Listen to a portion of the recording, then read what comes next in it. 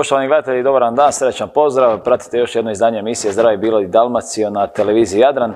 E, danas smo ponovno u sportskim nogometnim vodama. Dolazim jedan, a mogu tako reći, dragi prijatelji, drag gost e, ovdje u studio. E, no prije toga se odmorite uz jedan glazbeni broj, pa ćete vidjeti o kome se radi.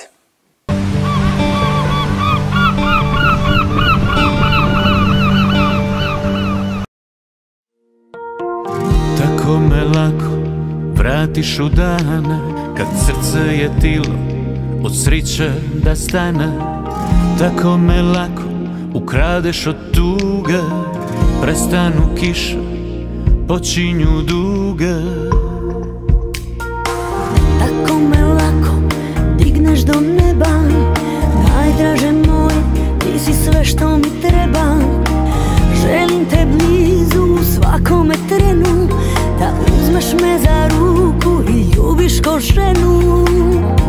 Za cijeli život, a možda i dva Ljubavi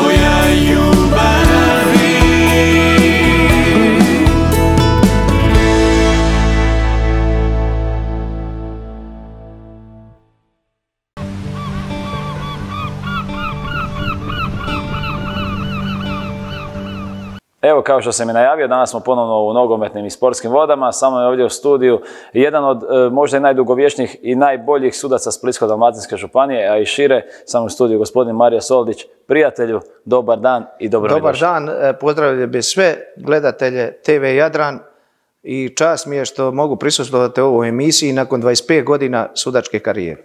Evo Mario, znamo se dugo i sa ovih svih terena nogometnih, pa i onda nekad budeš na ovim mlađim uzrastima, ali ono što je aktualno je da trenutno sudiš treću HNL Jug, e, glavni sudac na listi. Tako je, e, čast mi je pripala ta, ima, e, znači za saveznog suca položio sam 2004. godine. Prva moja utakmica na trećom HNL Jug bila je također Zagora Neretvanac. I sada, e, nakon e, znači 20 godina sudim savezni rang. Do sada u ovom karijeri e, nisam imao nekih velikih problema, niti prekida utakmica, ali iako je velika, veliki je pritisak na sucima danas i općenito teško se možemo nositi sa medijima i sa pritiscima u nogometnom okruženju. Dobro, ali evo ti si pristao doći ovdje u ovu našu var sobu danas, malo da vidiš kako je to biti ipak, e, jel ti lako ili ti nije lako na početku? Pa nije, e, nisam toliko ima iskustva da prisustujem nekim emisijama, ali drago mi je što ste me ugostili i izniću neke stavove u nogometnom okruženju koja se trenutno događaju i i u sudačkim vodama. 99. E, na 2000. tu zapravo si krenuo sa suđenjem. E, koji je to bio neki okidač za to? Jer sigurno da je na kraju i velika ljubav e, ostala i postala jer traja 25 godina u bilo čemu nije lako. Pa da vam kažem, znači počeo sam trenirati nogomet sa, prvi, sa svojim rođakom koji je završio u Dinama, znači nogometne ikonom možda ikonom nogometnom Jozom Gašparom, koji je moj rođak, e, trenirali smo skupo junaka, zatim, e, pošto je dolazi jednoga maloga sela, Potravlja, znači nije bilo e, redovnih linija za treniranje, znači odustajem od nogometa, vraćam se kad dolazim u prvi srednje, znači škole u Sinju, vraćam se ponovno nogometu, igram u Dinare u drugom HNL, znači dvije, tri godine i iza toga krećem u sudačke vode. E, to mi se nekako svidlo i od tada, znači do danas traje moj put u nogometnom svijetu. Sa 24 godine krećeš zapravo u te sudačke vode. Tako je. Kako je znači, bilo na početku reakcije, jel neko rekao što to treba, sinko? Ma ne, usputno sam tada radio u četvrtom gardijskom brigadi u Kninu, kao mlad momak sam došao u četvrtu gardijsku brigadu, radio sam gore i e, igrajući nogomet u Dinari, u jednom momentu imao sam neku ozljedu i krenuo sam u sudačke vode, premda su to, to je težak put.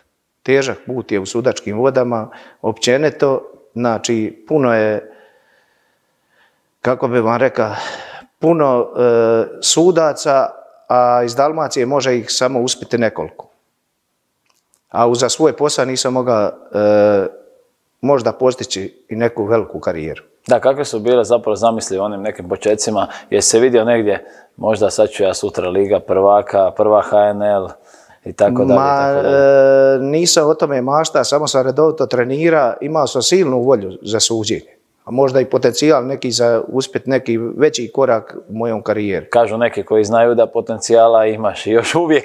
Pa, ne znam, to društvo govori možda da sam imao neku kvalitetu, ali uz svoj posao nisam mogao postići neke veće rezultate, jer me radni odnos, e, znači rad u turnusi neki nijamo tamo, iziskiva je da, da izbivam češće sa posla, ali to nisam mogao i okrenuo sam se trećom HNL Jug i to danas sudi. Da, treća HNL e, Jug je onako jedna kultna liga, e, poznata dugo, dugi niz godina. Prije bilo zapravo puno, puno i teža kad dođeš nekome u goste, ja znam ko igrač, a sad je to već malo drugčije, tu se odnose bodovi u gostima. Koliko se to sve promijenilo unazad nekih 15 godina?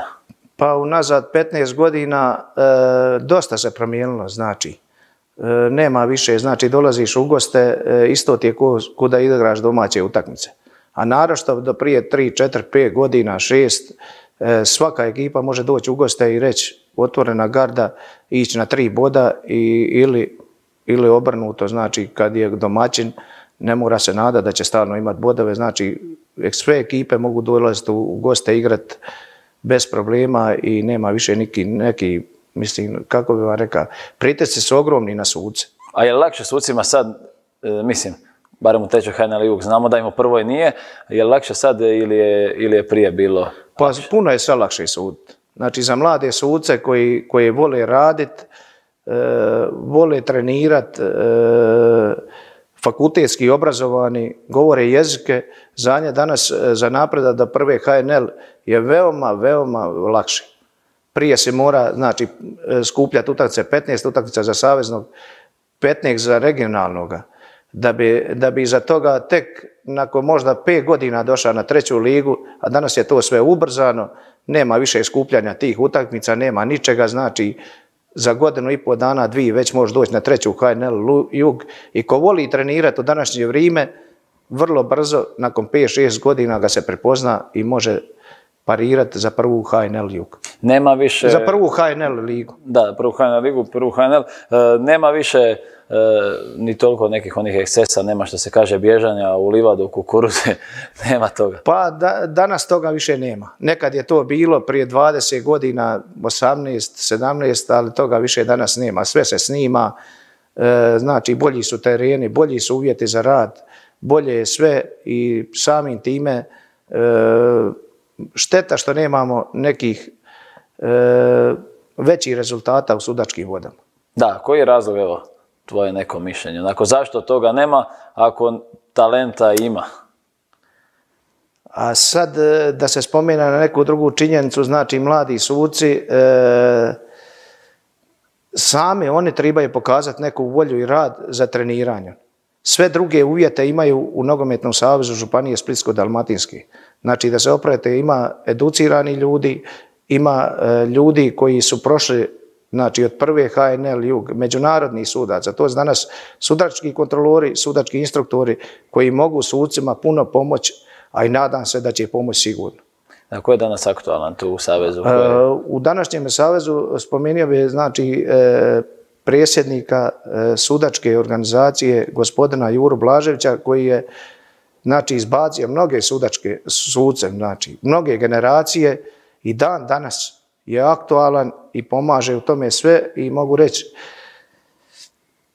da je on jedan od e, istaknutih ljudi e, što se tiče moje karijere, jer sam prvo iz početka bio na B listi i on mi je dao mogućnost da vidi jer ja mogu biti na listi i tako sam krenuo i dan danas traji. E, da, e, što je zanimljivo, evo, mnogo mi se dosta mijenja, ta pravila se isto onako malo modificiraju, malo, malo, sa svim nekim većim natjecanjem, s nekim prvenstvima, uvijek bude par tih novih pravila. E, još taj pritisak što si spomenuo na početku, enorman pritisak, pogotovo na prvoj HNL. Pa danas nije lako sud nijednu ligu, a kamoli prvu HNL, gdje je uveden VAR, gdje suci nemaju više ne mogu donositi tek tako svoje odluke, e, nisu više samostalni. Znači, iza svega stoje silni mediji, silni pritisak. E, e, kako bi još to sad objasnio? Suci jednostavno nemaju svoje ja. Jer mediji, fali se neki prekšaj, fali se zaleđe, fali se ovo, svi smo od krvi i mjesa, svi griješimo i šteta je da ne pomognemo takvim momcima, a ne i samo pokopajemo. Da, a ima tih mladih, vidjeli smo ima. ih. E, zašto ne bi Hrvatska imala u Ligi prvaka neke glavne suce? Tako je, imamo tu potencijalne suce, znači od e, Mateja Ercega, Ante Terzića, e, a da ne nabrajamo prije već njih su došli tu Duje Strukan, Jakov Titlić, imamo međunarodnog suca Hrvoja Radića. A mnogima si bio i mentor? Kad su pa mnogima sam bio mentor, e, znači svi ti suci su došli iza mene na suđenje, svi su se e, svi su odali sa mnom po tom trećem HNL gdje su stekli mnoga, mnoga iskustva i, i drago mi je što se sudio s njima. Da. Evo, moramo se malo dotaknuti Vara, od kad je uveden, uvijek e, oko njega sve i svašta imali smo i mi onu našu ajmo tako reći, aferu VAR u biti, to je samo jedan, jedna komunikacija iz VAR sobe koja je vjerojatno u svakom poslu isto na radnom mjestu normalna, međutim htjelo se od toga napraviti nešto na neku entu potenciju. Pa tako je, VAR soba, e, nije lako ni sucima u VAR sobi. Znači, e, nije lako ništa. Svako, e, svako ljudsko biće griješi i normalno da griješi. Znači, ne može se sve gledat, e, kako bi ja rekao, ne, može se sve gledat e, kroz, znači, medije. Medije samo brine šta je ko napravio, kako je ko šta radio. Znači, ljudi mučije se, borije se, rade i u toj var sobi stvarno nije lako jedna mala nijansa može koštati prvenstva ili, ili neki drugi stvari. Da.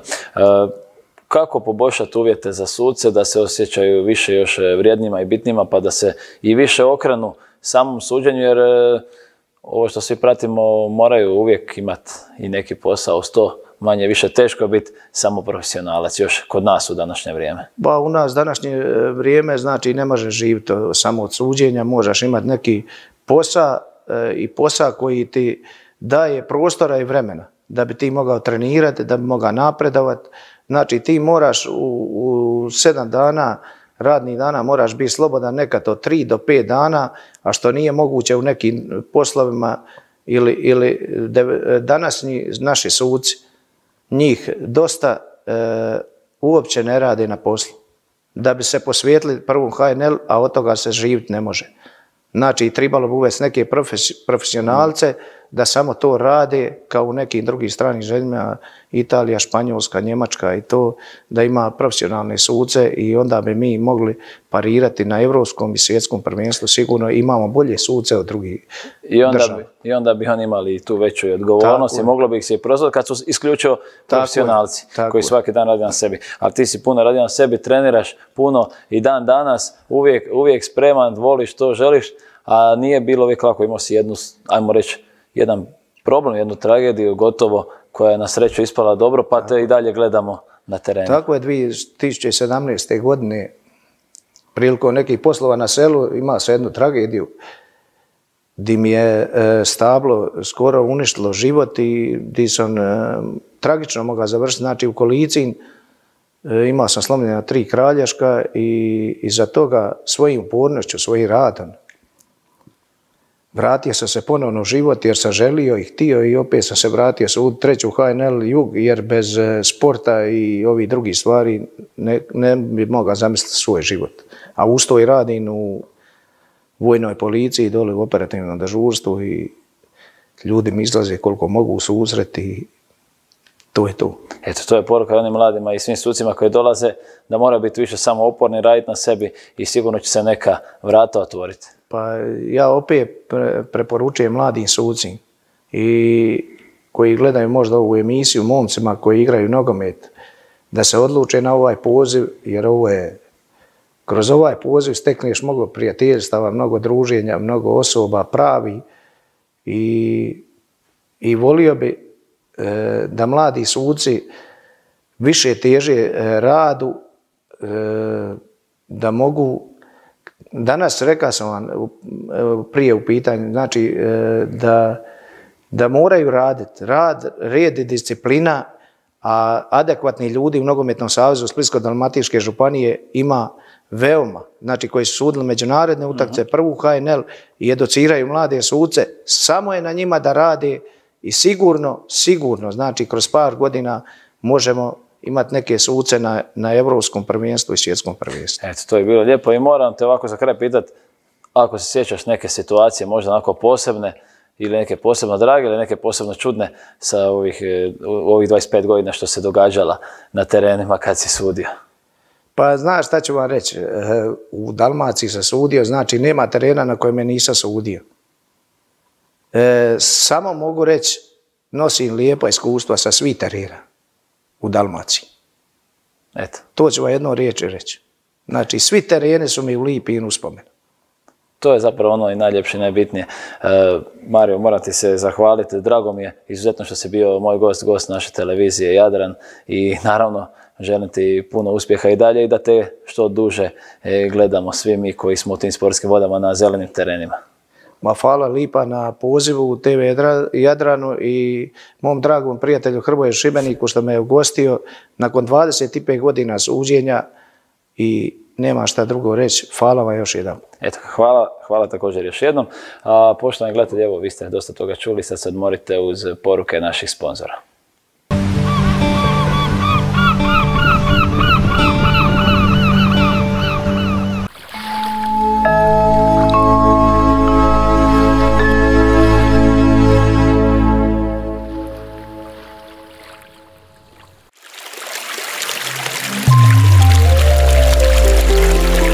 s kisikom. Snaga prirode. Uf. Normalan protok krvi kroz vene odvija se pomoću kontrakcije mišića, a vene su opremljene posebnim zaliscima koji osiguravaju protok krvi samo u jednom smjeru. Bilo koji pritisak ili utjecaj na zaliske poput nošenja tvrde obuće koja izaziva venski stres, dugotrenog sjedenja ili stajanja, prekomjerna težina i slično može dovesti do pojave proširenih vena. Jedan od glavnih uzroka nastanka proširenih vena je korištenje nenamjenske obuće. Iz tog razloga tvrtka Dr. Luigi proizvela je John za amortizaciju venskog stresa, koji spriječava nastanak proširenih vena na donjim ekstremitetima i omogućava nesmeta rad venskih zalisaka pri hodanju i stajanju.